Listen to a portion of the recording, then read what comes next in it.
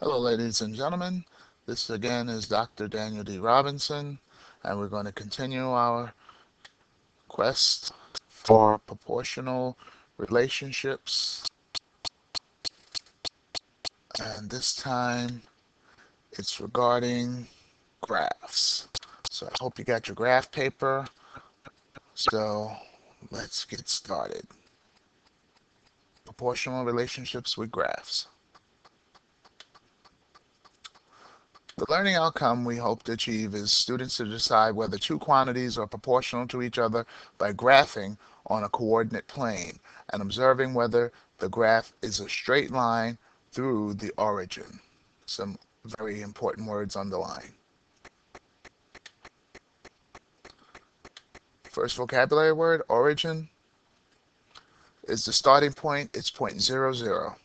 Note, every proportional relationship will include the origin. So that's a must. If it doesn't have the origin, it's not a proportional relationship. Proportional relationships represented as an equation are in the form of y equal kx. We'll be talking about that equation shortly. The k especially. A directly proportional relationship is a linear relationship because it forms a straight line when graphed. Linear, if you look at the spelling, the first four letters is the word line. So that's how you remember linear relationship. When it's graphed, it makes a straight line. Dependent variable, that's the y coordinate value, the output value of the function. We'll talk about functions later on in eighth grade, but we're talking about the y coordinate value or whatever grade you'll talk about it. Note, to find the y value, it depends on the x value. So the dependent variable is depending on the other value, the x value. So y is hoping to get some help from x in order to succeed doing what it must do. So y depends on x. Independent variable, the x coordinate value, the input value of the function. Note, to find the x value, it is independent of the y value. In other words, the x value doesn't have to do anything to the y value if it doesn't want to. It doesn't want to play, it doesn't have to play. It's completely independent. But the y value definitely needs the x value to survive. So here's a table of x and y coordinates. So we're going to graph them up here. So remember how to graph. Here's your x-axis, goes horizontally across. Go up two, and I'm sorry, go across two, and up three boxes, and that'll give you the first coordinate point. The next one, go to the x on four, and go to the y value on six. So notice it corresponds to y is 6 on the y line and x is 4 on the x line. The next value, the x is 6 and then 9. So you can go to x line to 6 and go up to the y-axis, which is 9. And there's that point. And the last one is 8 across on the x line and then go up to the y line and there is 12. So all of those points, notice how they're straight in a row. Things you should remember if it's a proportion or they're proportional. Well, you should remember, you should be able to tell from our other video about the table. If you look at these fractions, they should simplify. Two-thirds is our first fraction. Maybe they all simplify down to two-thirds. So let's take a look.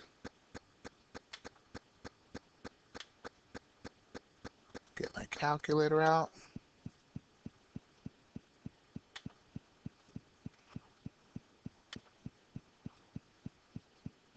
Four, six.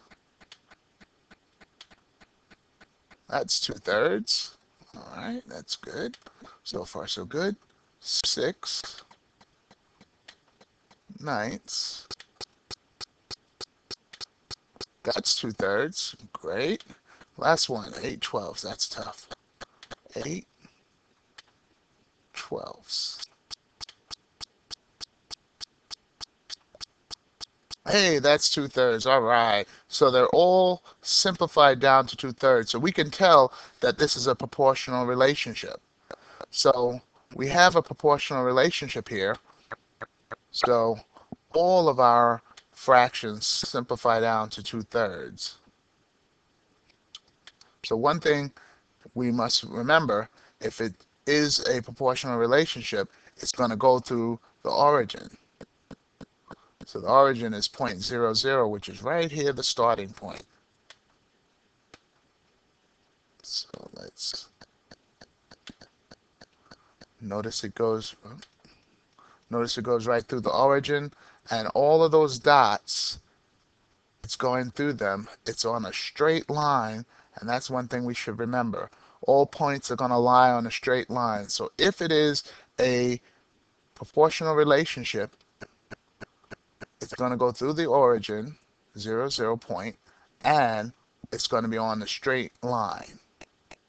So, here's a question. Does this graph represent quantities that are proportional to each other? Yes or no? So keep in mind, you got a table, 2 thirds, 4, 6, 8, 12, 12, 14. You should be able to tell that from the table. So I'll give you a minute.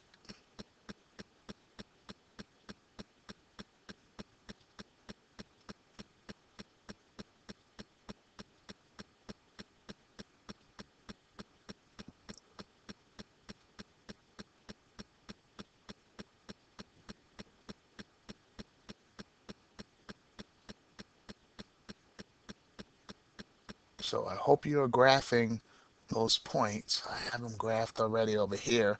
Hope you got your graph paper. Two thirds, four, six. Go down to x axis, eight, twelve, and what is that? Twelve, fourteen. So I graphed them all.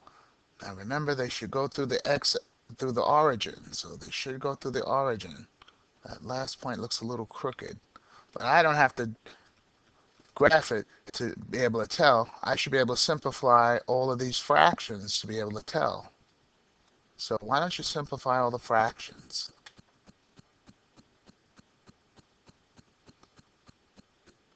So two, first one two thirds. Four six simplifies to two thirds. Six eight simplifies to two thirds.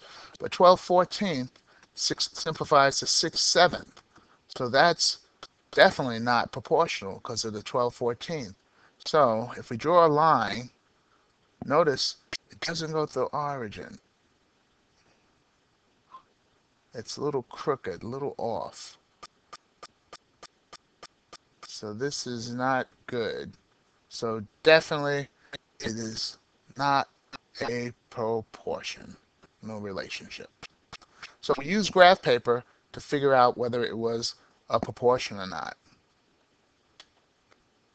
So check your understanding, make sure you understand about proportional relationship. If you need to watch the video, watch it again. If you have questions, write them down, see me in the morning, and we'll talk about it.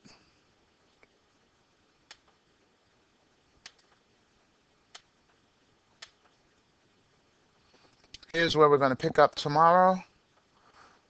Graph the table. And does this graph represent the quantities that are proportional to each other? So figure out if it's a proportion. Hopefully you'll be able to. So that's it for today.